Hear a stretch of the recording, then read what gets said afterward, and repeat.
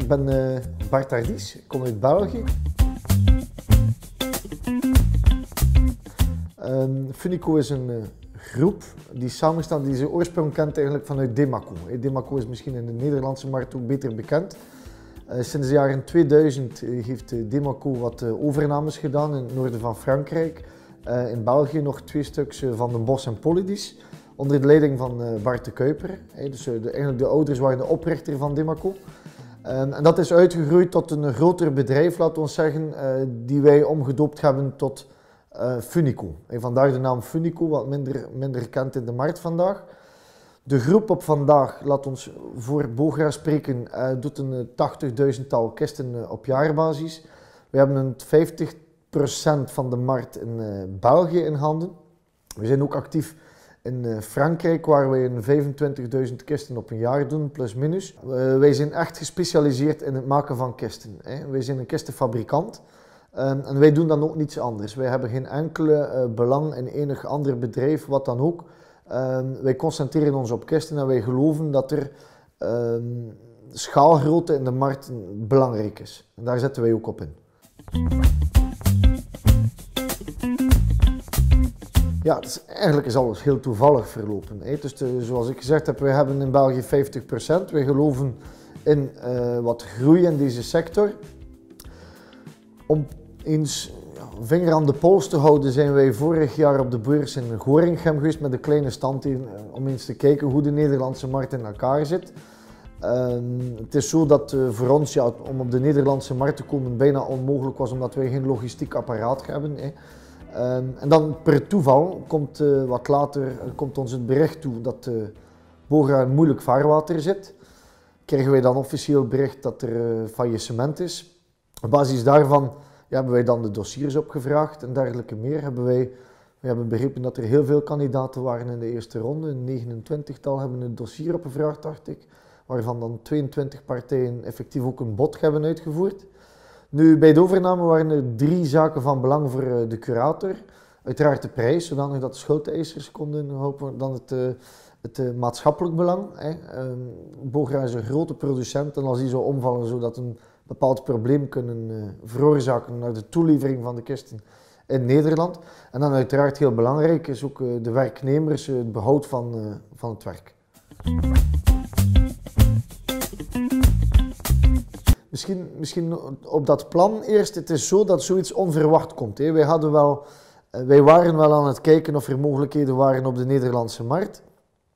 Maar zoiets komt onverwacht. Dus het is niet zo dat je daar een plan kan van maken. Kijk, op een bepaald moment contacteert de curator, curator u en dan beslis je om daarin te springen of niet. Je hebt niet de tijd om alles goed te gaan bestuderen, om te doen. Alles moet op een paar weken tijd uh, geklonken zijn en dan moet je zomaar verder. Dus uh, om uw gedacht te geven, maandagnacht om kwart na één tekenen wij de overeenkomst uh, met de curator.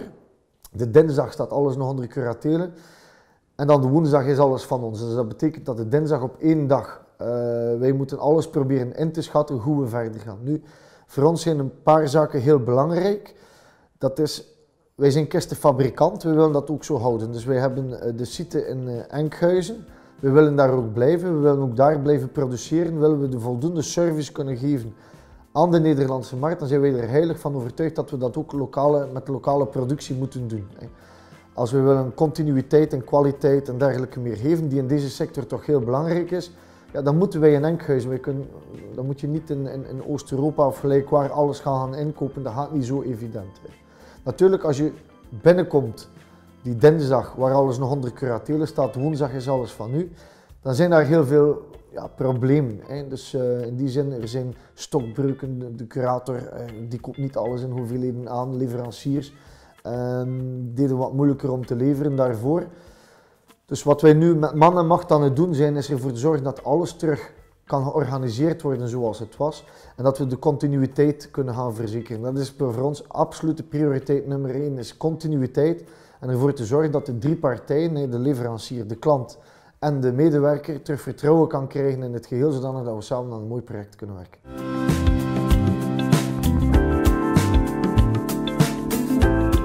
Absoluut, ja. Absoluut.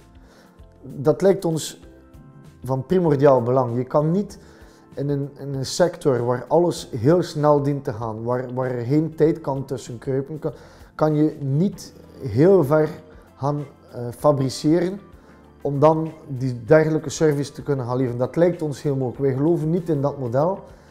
Vandaar dat wij eh, heel, heel bewust eh, de site behouden met de mensen die er zijn, met de kennis. Want de kennis die er heerst is van heel, heel groot belang voor ons om die continuïteit te kunnen garanderen. Wij zijn afkomstig uit, uit België en één iets wat wij denken dat wij kunnen, dan is dat kisten maken. Maar wij hebben totaal niet de pretentie om te denken dat wij de Nederlandse markt kennen. Dus wij hebben ook niet de intentie om uh, Bogra te verbelgischen, als ik dat zo mag uh, noemen. Nee, ik denk dat het heel belangrijk is dat de identiteit van Bogra uh, kan, kan verder gezet worden. Maar dan wel in alle openheid en in alle sereniteit dat we kunnen verder werken aan de toekomst. Dat vinden wij heel belangrijk. Dat we kunnen naar de klanten, de vertrouwen winnen van de klanten, van de leveranciers en van de medewerkers. Dat we samen aan een mooi project kunnen bouwen om een stevig, om een stevig geheel te vormen.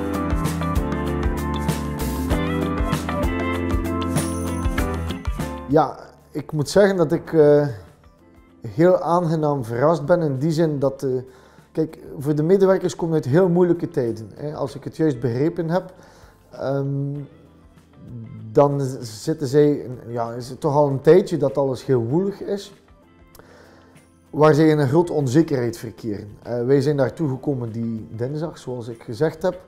Wij kennen de mensen niet, wij hebben daar kennis gemaakt. Wij hebben getracht, zo goed en zo kwaad als het kon, duidelijk met hen te communiceren. Dat is niet zo heel makkelijk, ook voor hen niet, vooral voor hen niet, zou ik zeggen de manier waarop nu iedereen omgaat en enthousiast meewerkt en de bepaalde problemen die er, die er zijn, dan moeten we niet onder stoelen of banken steken.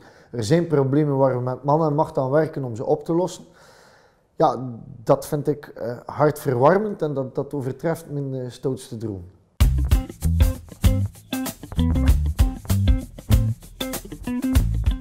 Ja, kijk, zoals gezegd, wij zijn er ingestapt zonder kennis van de markt. Dus we hebben ooit een, uh, eens op de beurs gestaan en daar stopt zowat onze kennis van de Nederlandse markt.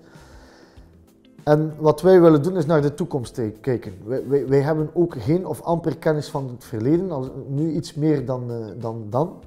Maar voor ons is het heel belangrijk dat we die continuïteit gaan waarborgen. En daarvoor heb je mensen nodig die, die, die de branche kennen, die het bedrijf kennen, die weten hoe alles draait.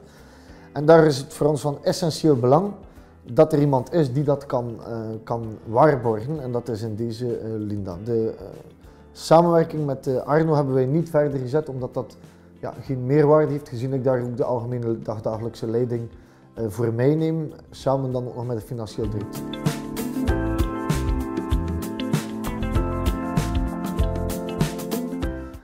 Ja, oké, okay, goede vraag.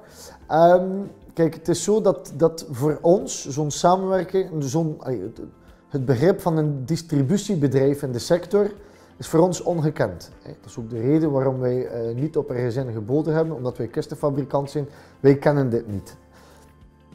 Um, wij, hebben, wij, verstaan ondertussen dat tussen het belang van zo'n distributienetwerk uh, van cruciaal belang is voor de verdere werking.